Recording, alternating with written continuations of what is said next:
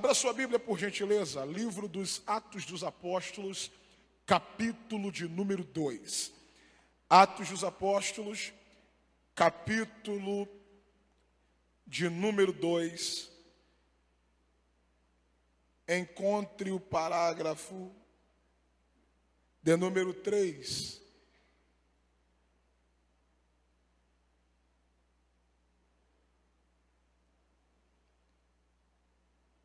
Atos dos Apóstolos, capítulo de número 2.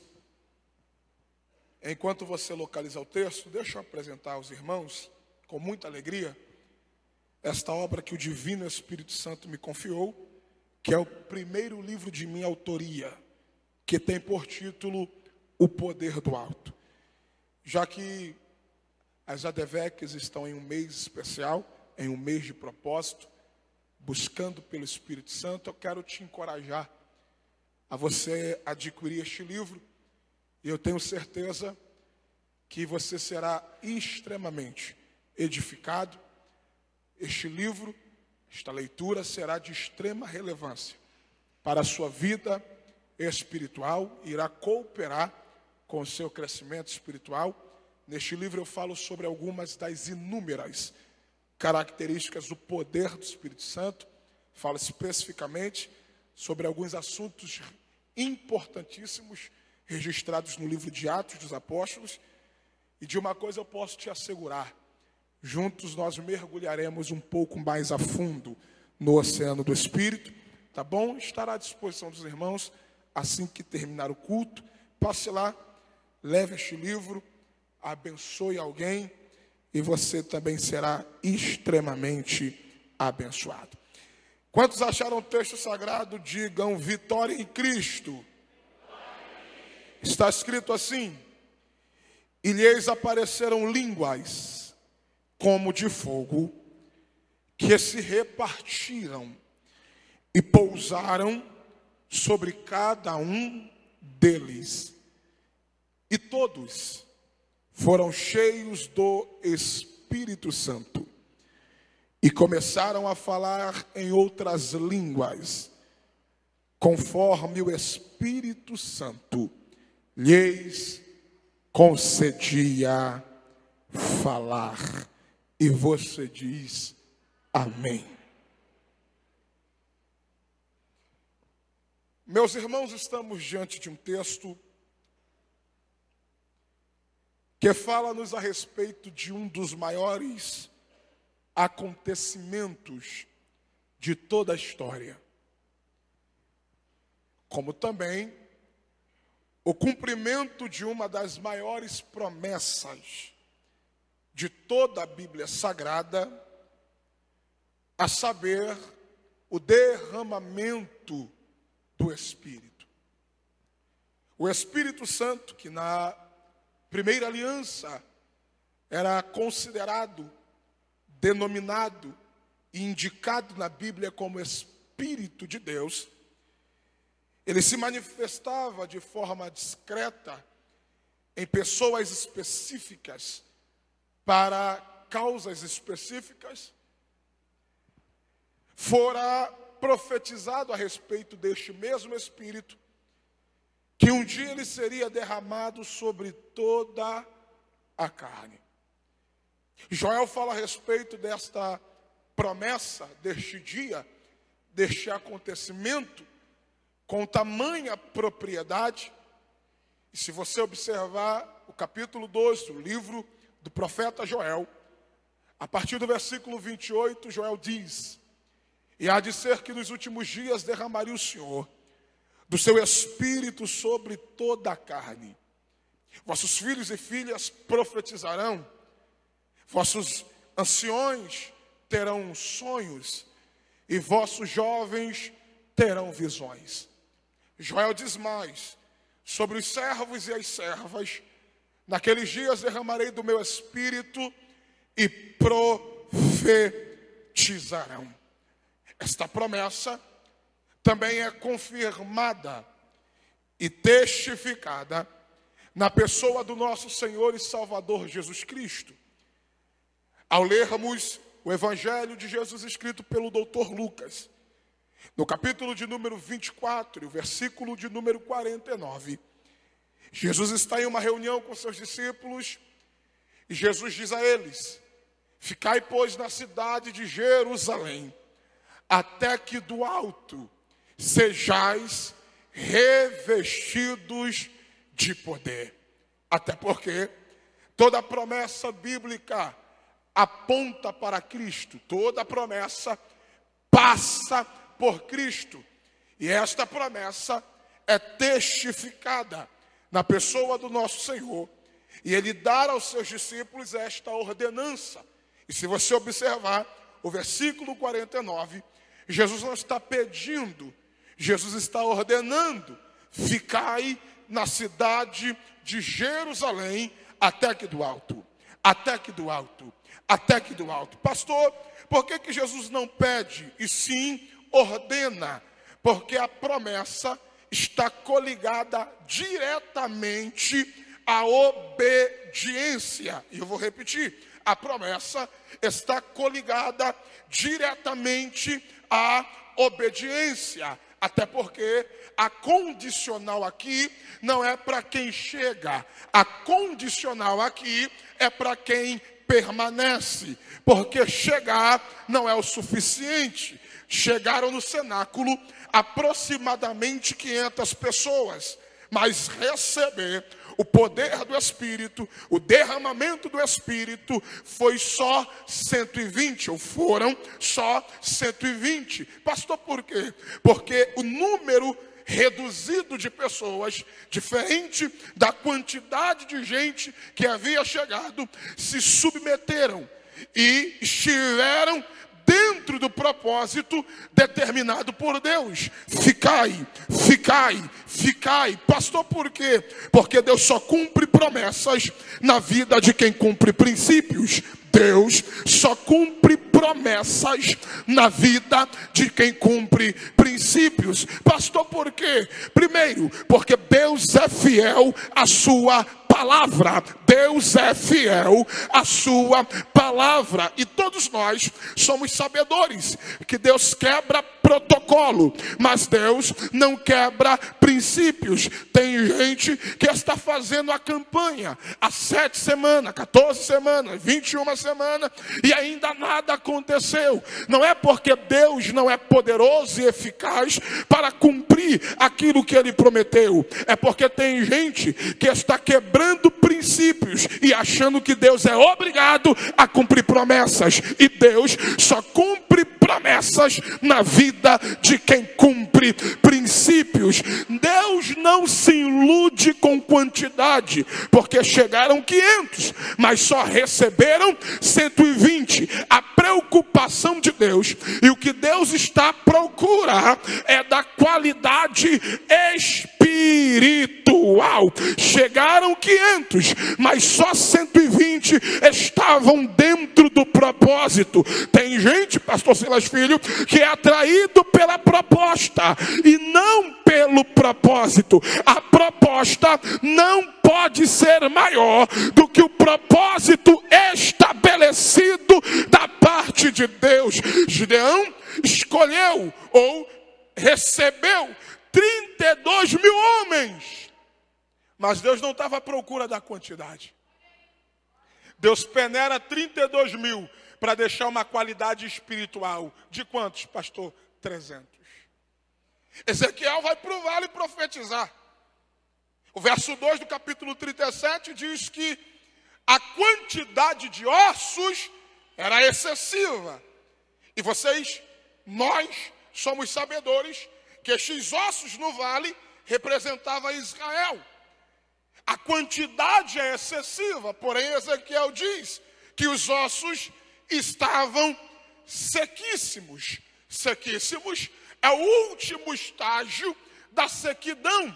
Sequíssimos no original significa sem espírito espiritualidade. Olha a situação que Israel se encontrava: muitos ossos, espiritualidade nenhuma, muita desobediência, espiritualidade nenhuma, muita imoralidade, espiritualidade nenhuma, muita injustiça, espiritualidade nenhuma. Muita idolatria, espiritualidade nenhuma. Aí o que Deus faz com Ezequiel? O texto diz: E ele me fez andar. Deus leva Ezequiel, movimenta Ezequiel. Ezequiel entende a situação na íntegra dentro do vale. E Deus faz uma perguntinha básica: Qual?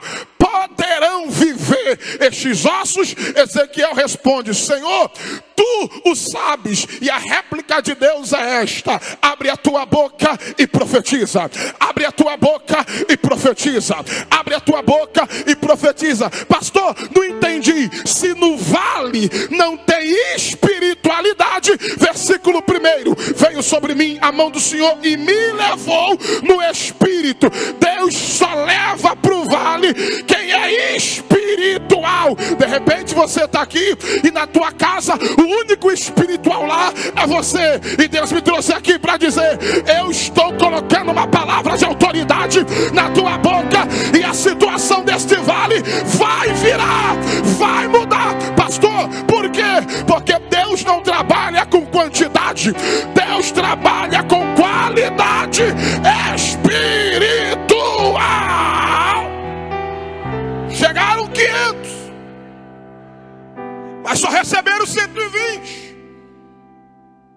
Porque 120 estavam dispostos a permanecer dentro do propósito. E detalhe: quando Jesus diz ficai até, ele não está dando definição de tempo.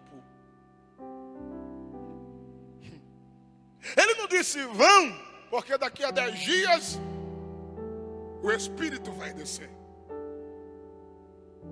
Jesus não disse que seria 50 dias após a Páscoa. Jesus não disse que seria 10 dias após a sua ascensão. A ordem é ficai até. Ficai até. Ficai até. Pastor, por quê? Porque quando Deus promete algo para nós, o que importa não é o tempo do cumprimento, e sim a certeza de quem fez a promessa. Ai, está preocupado com o tempo que vai acontecer, com o tempo que vai se cumprir. E deixa eu dizer uma coisa: Deus não se limita ao meu tempo. Deus não se limita ao teu tempo, até porque Deus não trabalha no cronos, Deus trabalha na plenitude do seu que é o Kairos. Se Deus te fez uma promessa, meu amigo, se Deus te fez uma promessa, serva de Deus, independente do tempo, a certeza que eu tenho é: se foi Deus que falou, vai acontecer, vai acontecer. Oh, aleluia. Oh, tem gente que está aqui me ouvindo e está esperando há anos a promessa. Tem gente que está aqui me ouvindo que está esperando há meses a promessa. Tem gente que está aqui me ouvindo que já esqueceu o tempo da espera, mas acredita o que? Eu não vou sair do centro da vontade de Deus, porque Ele não é homem para que minta, Ele não é filho do homem para que se arrependa. Aquilo que Ele falou ao teu respeito vai acontecer. Vai, vai, oh, aleluia. Capítulo de número 2, versículo 1, a tradução que eu li diz assim: E tendo chegado o dia. Oh, aleluia. E tendo chegado o dia. Se prepare, meu filho o tempo de Deus vai chegar. O tempo da promessa se cumprir na tua vida vai chegar. E tendo chegado o dia de Pentecostes, olha o que é interessante. Estavam todos reunidos concordemente em um só lugar. O texto está nos dando a ideia de que, pastor? Eles não só estavam juntos, Walter, meu amigo, eles estavam no mesmo lugar, reunidos e em concordância. Pastor, por quê? Porque estar junto não quer dizer que eu estou concordando. Eu posso estar junto do Mateus Rocha, porém a minha opinião pode ser diferente da dele. Meu pensamento pode ser diferente do dele. Eu posso estar junto, mas não quer dizer que eu estou concordando. É só você pegar a primeira carta de Paulo à igreja aos Coríntios. Paulo vai ter que trabalhar um problema de divisão. Era uma igreja. Quantas igrejas? Uma igreja dividida em quatro. Grupo A da igreja, meu pastor é Paulo. Grupo B da igreja, meu pastor é Apolo. Grupo C da igreja, meu pastor é Cefas. Grupo 4, meu pastor é Jesus. Eu não estou falando de quatro igrejas, eu estou falando de uma igreja. Eles estavam juntos, mas não havia concordância. Aí Paulo tem que trabalhar isso, porque não basta estarmos juntos. O propósito exige concordância. Aí Paulo tem que dizer: Eu plantei, Apolo regou, mas quem dá o crescimento é Deus. Concordância. Vou te dar um exemplo muito simples. Daqui a pouco vai ter um jogo aí no Rio de Janeiro. O Maracanã vai estar lotado. O ambiente é o mesmo. Eu não sei quem vai pegar. Só que estão todos juntos, mas nem todos estão em concordância. Pastor, por quê? Porque dentro de quatro linhas só um time pode sair vencedor.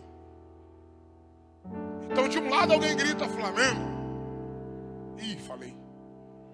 Do outro, alguém grita Grêmio. Só que isso aqui não é um estádio de futebol. Isso aqui, como já foi dito pelo meu líder, é reino de Deus. Reino de Deus não é disputa. Reino de Deus não é o ringue de UFC. Reino de Deus não é, uma, é um campo de futebol. Reino de Deus é lugar de comunhão, é lugar de união, é lugar de concordância. Oh, quão bom e quão suave é que os irmãos vivam em união, concordância. É melhor estar em dois, porque se um cair, o outro levanta. Concordância, o cordão de três dobras é mais difícil de arrebentar. Concordância, quando dois ligarem na terra, o céu também entrará em concordância. Ai meu Deus, é melhor estar em dois ou três reunidos em meu nome. Não é um, é onde houverem dois ou três. É não porque não um, porque um não mas onde houverem dois ou três, se tem concordância, Jesus diz: Eu estou no meio, eu estou no meio, eu estou no meio, eu estou no meio, Vamos interagir comigo agora. Pega na mão de um vaso aí, de um crente ligado. Isso, interaja com essa pessoa. Se tu tem comunhão, se tu tem concordância, cata a mão de alguém aí, pastor. Mas ele não vai com a minha cara. Quebra isso agora em nome de Jesus, porque a glória de Deus vai tomar essa casa. E aonde tiver concordância, aonde eita, nele, dê um saculejo nela e diga: Eu concordo com a tua vitória. Diga: Eu concordo com a tua vitória. Eu concordo com a tua vitória. E quando o céu concorda, não tem diabo para discordar.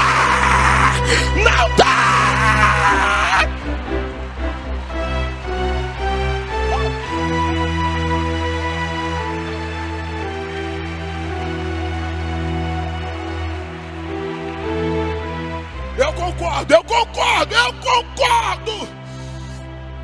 Hum. Hum. Estavam todos reunidos em concordância. Versículo 2. Olha o resultado da concordância. E de repente,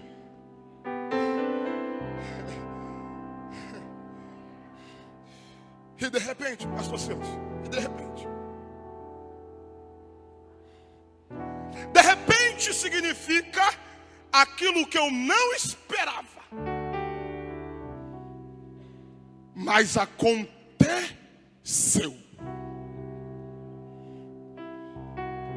Eu não sei quem vai receber, mas o de repente de Deus vai acontecer na tua vida hoje. Que entrou aqui que veio simplesmente para cultuar, simplesmente para adorar, entregar um culto a Deus.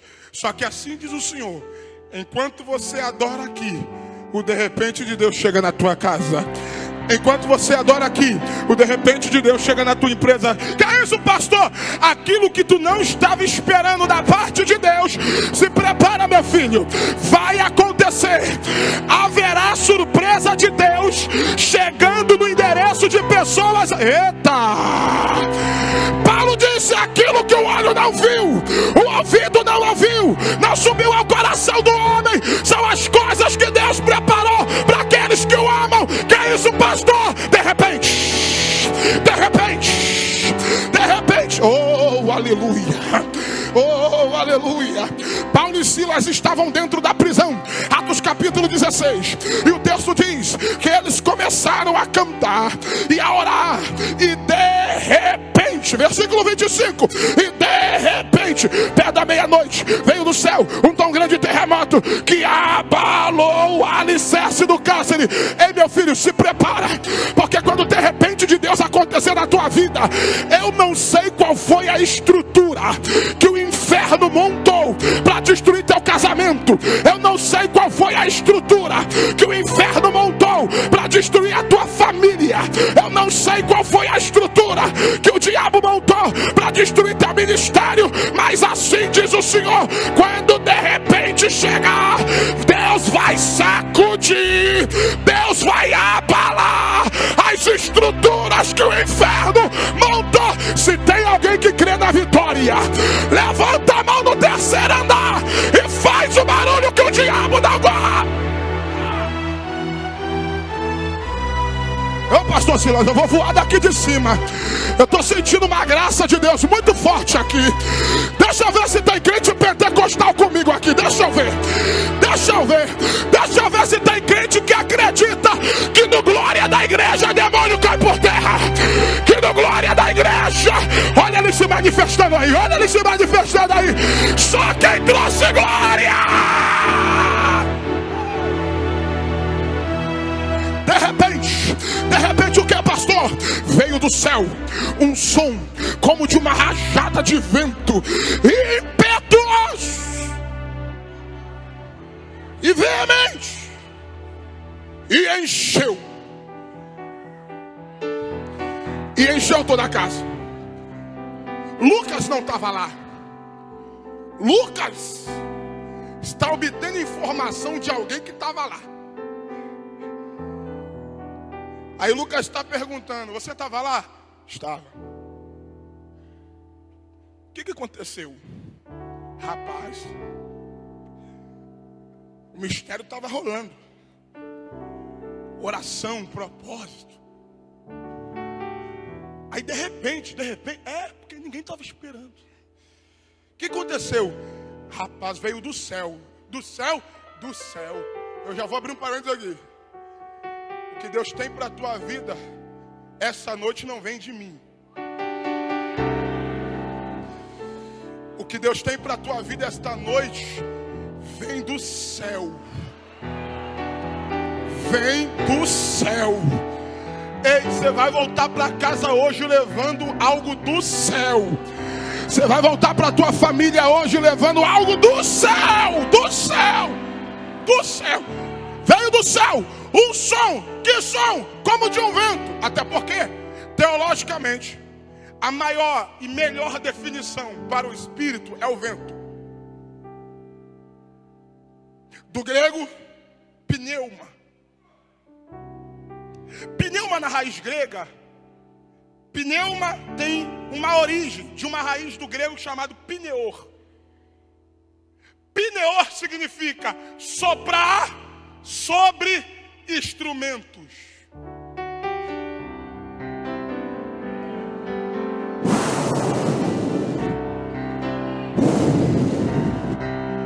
Quando o Espírito desce como rajada de vento, o que, é que ele está fazendo, pastor? Soprando sobre instrumentos. E quem aqui já tocou algum tipo de instrumento de sopro? Você sabe um tanto quanto eu? Se você pegar o saxofone, o trompete, a flauta, a clarinete, seja lá qual for o trombone, seja qual for o, o instrumento. Se você deixar ele parado em algum lugar, ele vai continuar parado ali. Se você deixar ele em qualquer canto, ele vai continuar em qualquer canto. Porque ele não vai ter utilidade nenhuma. E qual é a utilidade dele? Quando alguém pega.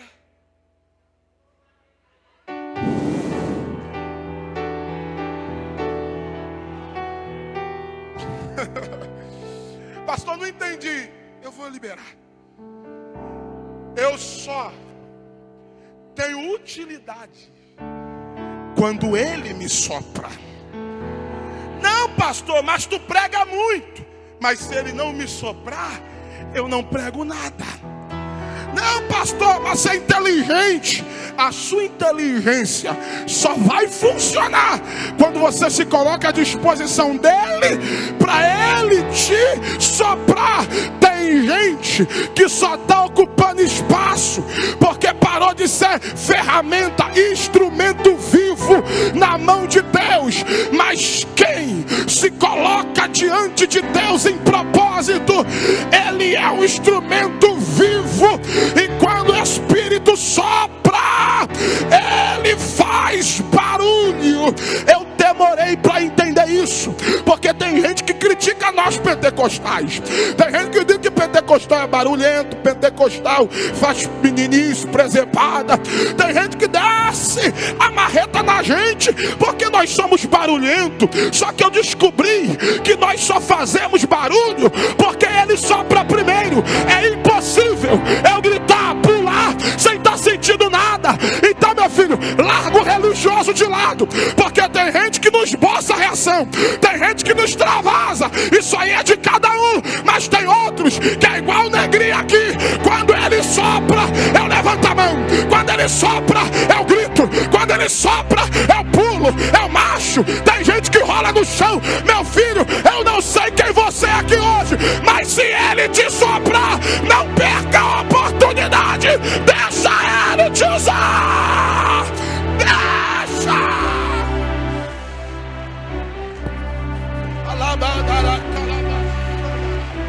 Deixa ele te usar. Olhe para cá eu começo a encerrar agora. Veio do céu um som como de um vento que encheu. Uma das características do Espírito é que ele preenche todos os espaços vazios da nossa vida. E eu vou repetir isto. Uma das características do Espírito é que ele preenche nas nossas vidas todos os espaços vazios. Não tem essa. Tem espaço que só um marido vai preencher. Só um amigo verdadeiro vai preencher. Só quando o Espírito desce, não tem espaço vazio na vida de alguém que fique vazio. Hum. E detalhe: quando o Espírito Santo sopra em nós, se apodera de nós, como se apoderou de Davi, não tem lugar nem para o diabo, meu filho. Não tem essa que ora tu é da bênção, do manto, e ora o diabo te usa. Quente cheio não. Davi era cheio. Quando chegou diante de Saul, o demônio da vida de Saul teve que bater retirada. Ai. Papai está me dizendo que vai ter gente que vai sair daqui tão cheio. Mas tão cheio que quando tu for lá pro churrasco do teu cunhado lá para terminar de ver o jogo, o demônio que estava vai ter que bater em retirada de lá. Tem gente que amanhã, quando chegar na empresa, o diabo que estava pegando aquele funcionário lá, vai ter que bater em retirada, porque onde a presença do Espírito chega, diabo não fica. Onde a presença, deixa eu ver se tem alguém que quer receber a presença. Deixa eu ver.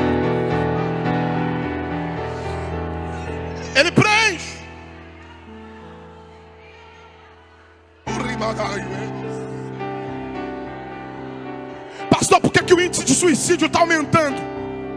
Desenfreadamente. E pasme, senhoras e senhores, até dentro das nossas igrejas. Renan, por quê? Porque tem gente que está tão preocupado com fama. Tem gente que está tão preocupado com aparência. Tem gente que está tão preocupado em ostentar uma vida que não leva. Tem gente que está tão preocupado com conta bancária. Tem gente que está tão preocupado com roupa, com bens materiais, que está esquecendo de encher a vida da presença do Espírito Santo de Deus, meu filho. Perca amigo, mas não perca presença. Perca dinheiro, mas não perca presença. Perca status, mas não perca presença. Perca holofote, mas não perca presença. Eu vim pregar esta noite para um povo aqui na Devec Taquara, cheio da presença do Espírito de Deus. E se tem começa a se manifestar agora. Eu já estou vendo mão levantada ali. Já tem alguém de pé aqui na frente. Já tem uma obreira marchando lá. Já tem alguém recebendo aqui. Eu declaro sobre a tua vida os projetos do diabo. Acabou de cair por terra agora. Porque a presença do Espírito vai te encher, vai te encher, vai te encher, vai te encher, vai te encher. Vai! Só quem tem glória para Ele. Eu vou te dar 30 segundos. Só quem tem aleluia. Aumenta o volume. Quem é batizado em línguas, eu te convido a exercer teu dom agora. Não fala mais em português. Começa a orar em línguas comigo agora. Eu vou te dar 30 segundos para tu entrar na dimensão da glória que está nessa casa.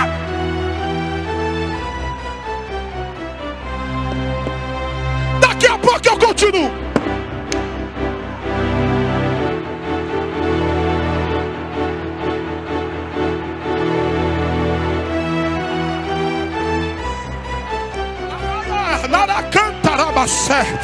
Alabiade com remacia, cabida calabada da canda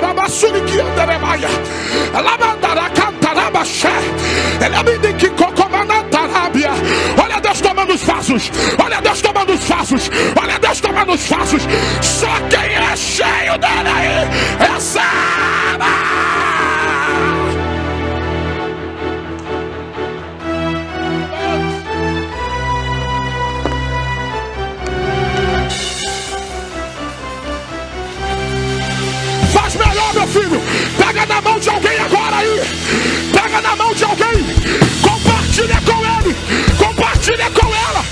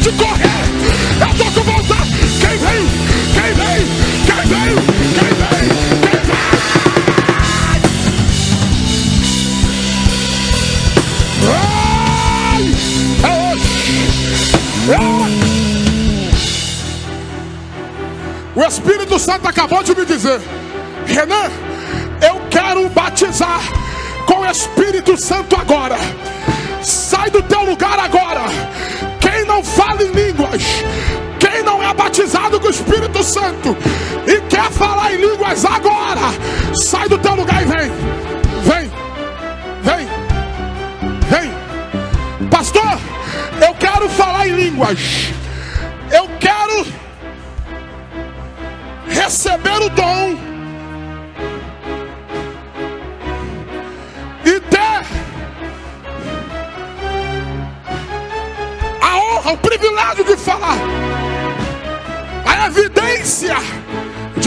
Línguas. Sai do lugar e vem rápido. Laia. Alabacandarábia. Alamanterecomanaragassúria.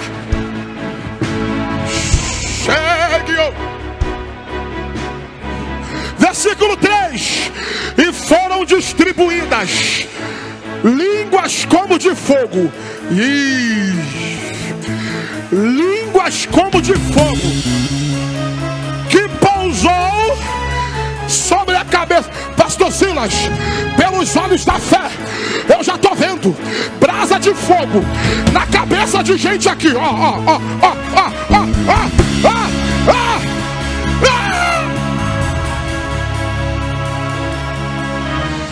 Quem está aí? Estenda a mão para cá, para frente agora. Prepara aí, Mateus. Levanta a mão, alábia sé. Eu quero convidar os obreiros que são batizados com o Espírito Santo a me ajudar aqui agora. Se também possível, os pastores que estão no altar a imporem as mãos sobre o povo agora. Jesus vai batizar com o Espírito Santo. Tem gente que vai sair daqui hoje falando em novas línguas. Meu Deus, aqui. Antes da língua vir na tua boca, a brasa vem na cabeça. Antes da língua vir na boca, ela vem na cabeça. Tem gente que a língua já está na cabeça, mas não abre a boca. O segredo é abrir a boca, abrir a boca. Jesus, hoje é o dia que você vai sair daqui falando em novas línguas. Esquece quem está do teu lado. Não tenha medo de se entregar. Não tenha medo de receber. Não tenha medo de falar. Aquilo que ele coloca. Vem, Douglas, vem orar também, meu filho. Aquilo que ele colocar na tua boca. Abre a boca para falar. A. Líbico. Abre a boca da glória. Abre a boca da glória. Você que veio aqui na frente. Abre a boca da glória. Abre a boca da glória. Abre a boca da glória. Ó oh, Deus. Eu digo um. Eu digo dois. Eu digo três. Enche a tua igreja. Espírito,